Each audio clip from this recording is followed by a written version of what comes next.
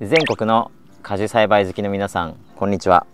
えー、今日はですね台湾から入れた種子のその後の様子お届けしたいと思います、えー、で後半の方ではですね、えー、ちょっと雑談でまた、えこの種子たちをどういうふうにまあ、使っていくのかどういう風な未来の可能性があるのかみたいなそこら辺のワクワクする話もですね、えー、ちょっと最後の方でお話ししたいと思います。まずは、えー、前半の方ではですね、えー、台湾の、え台湾から導入した趣旨のその後ですねお届けしたいと思います。で、まあ、今年の3月にですね台湾の方に、まあ、旅行に行きまして、まあ、旅行というか仕事なんですけれども、え台湾の市場を巡って美味しいフルーツを食べるっていうですね、えそれはとてもとても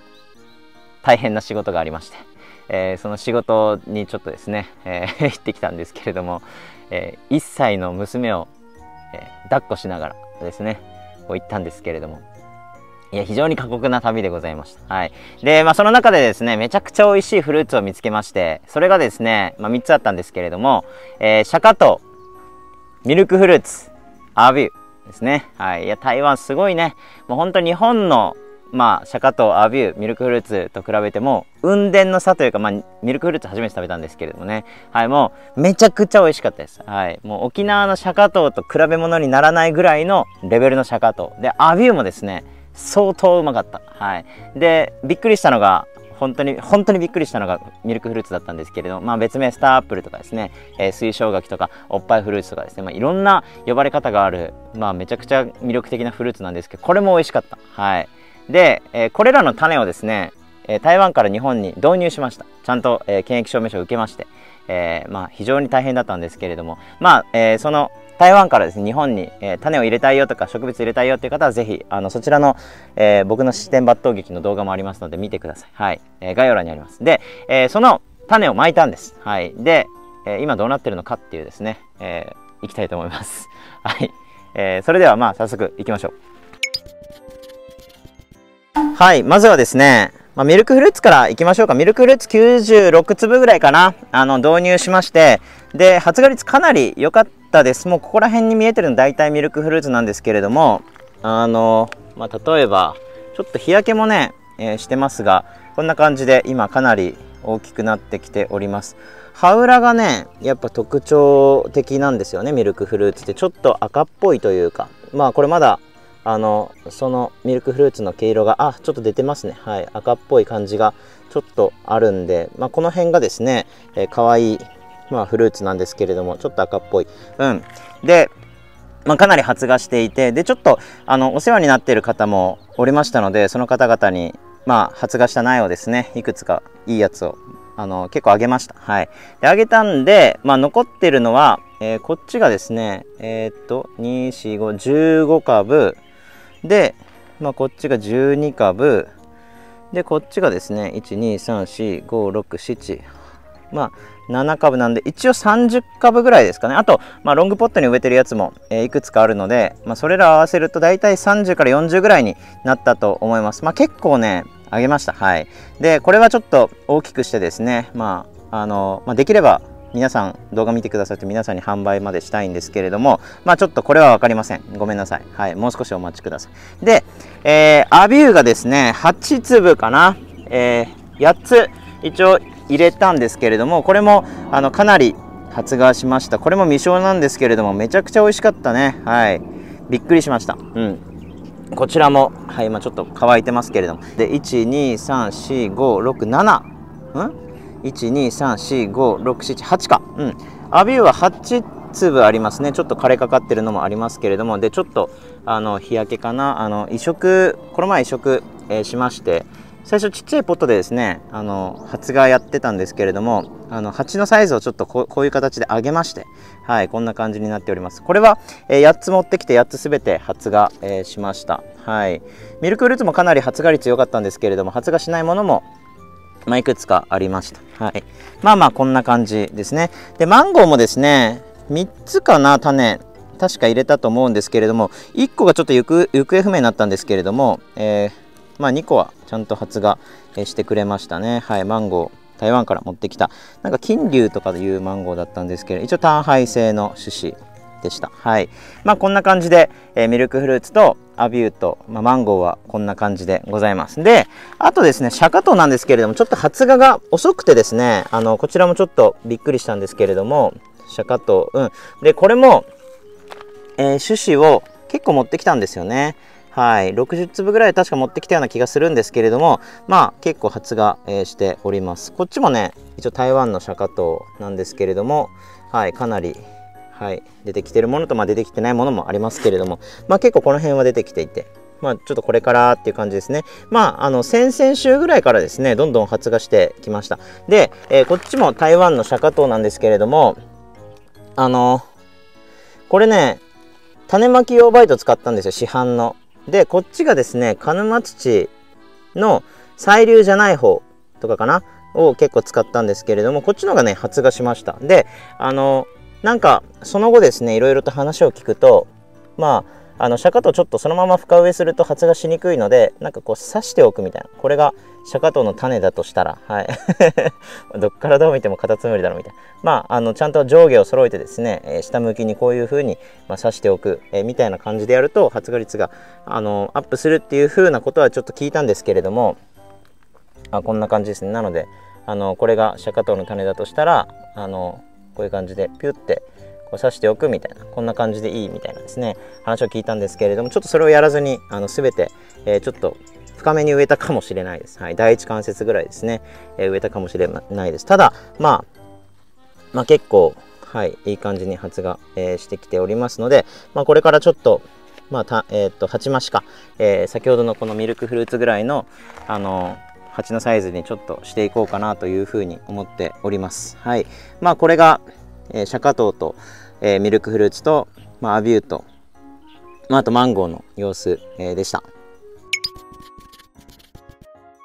いかがだったでしょうか？はい、ミルクフルーツもですね、まなんか根っこが結構 下からまた 出てきているので、まあ、そろそろこれも鉢増ししたいなというふうにも思っております。まあ、あのロングポットでやってるやつもいくつかあるんですけれども、まあ、こういうちょっと浅い鉢ですね。ちょっとロングポットをですね、まあ、注文しているんですけれども、まあ、間に合わなくてですね、あのこれしかなかったので、まあ、これにしてますけれども、一応植え替えます。またさらに。はい。えー、来週ぐらいにちょっとやろうかなというふうに思っていますけれども、まあ、かなり、うん、発芽率も良くてですねあのしっかりまあ、成長しているなという印象を受けます。はい。いや、非常に、うん、これもミルクフルーツですけれども、いい感じですね。マンゴーはね、あの、それなりに発芽するっていうことが一応、あの、分かっておりますので、まあ、全然不安はなかったんですけれども、まあ、ミルクフルーツどの程度、まあ、発芽するかなというふうに思っておりました。これアビューですけれども、まあ、アビューもですね、結構、あの、発芽率良くて、まあ、沖縄県の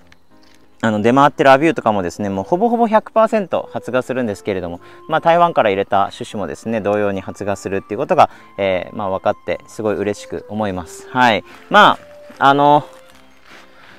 種なので未生なのでですね、まあ、結局食べたものとは違うものが出てくるんですよね。はい。親の、まあ、遺伝的形質を引き継ぐんだけれどもまああの雑種ということで、まあ、完全なるクローン体が出るかって言われるとそうではないと。いうことですね。親の形質は引き継ぐけど、まあ、同じものではないよっていうことですね。あの、ただまあ、あのー、まあ、沖縄県でやった、まあ、沖縄県、例えば沖縄県で食べた、まあ、シャカトウの、えー、種、えー、台湾から持ってきた種、あの全然違いますので、やっぱりその台湾から持ってきた種をまくとやっぱり台湾の、えー、そういった母親由来のですね、えー、形質が強く引き継がれているというふうにも思われますので、まあ、この辺は全然違うものだよっていうことがですね、えー、あるというふうに思います。はいまあ、ただあの未生なのでやっぱりあの本気でやりたい人とかですねあのこれをあの釈迦と台湾の釈迦とを作ってビジネスにしたいとかいう方はあのまあえー、種子じゃなくて苗を、えー、導入する必要があるんですけれどもただこれはやっぱ国際的な、えー、まあ、ところで、えやっぱり苗の持ち出しができないとかですね、えこの辺も、えあるというふうに思います。確か釈迦とちょっとできるかできないか微妙だったんですけど多分できなかったように思いますけれども、まあ、できたらごめんなさい。はい、まあ、そういった、え感じでですね苗を入れれない、えとも思いますのでまあ種子を入れて、まあ、そこからちょっとあの開花まで待って選抜していくっていう手もありなのかなというふうに思います。まあ、ちょろっと今選抜っていう話もしましたけれどもあの接ぎ木はできますので例えばですけれどもまあこれ面白いなと思って、まあ、想像で考えているのはですね、えー、まあ沖縄県にある例えばアテモヤとかシャカトウのまあ少し大きめな木ありますよね。まあいろんなところにあると思うんですけれども、あと、まあ、他にも、まあ、万、えー、万霊氏、えー、か万霊氏族のですね、安野名族の、えー、その辺のヤマトゲとか、まあいろいろ、えー、ポンドアップルとかその辺に生えてますけれども、こいつらに高継ぎしていく、まあ、ちょっと遺伝的親和性、えー、調べてですね、釈迦頭が告げるのであれば、えー、継いでいく高継ぎでこうまああのやっていく。で、えー、感情白皮とかですね切り上げ剪定、えー、などをして、えー、花を咲かせて、えー、そこから、まあ、果実を見ていく。で、えー、まあ今回種を種子を結構入れたので50粒ぐらいですね発芽してくると。この50粒がですね、えー、大きくなるとその、えー、枝をどんどん高継ぎしていって、えー、果実の肥大がいいものを選ぶとかですね、えー、この辺はすごく面白みがあるのかなというふうにも思います。であの沖縄にあるスターアップルもですね、まあ、大体ライラとかローレンとかその辺だと思いますけれども結構その聞くと、まあ、なんか果実の、まあ、そういうふうに言われ言われておりますのでまあ、えー、こういった台湾の大きい、えー、美味しいやつをですねえー、高継ぎして、はい。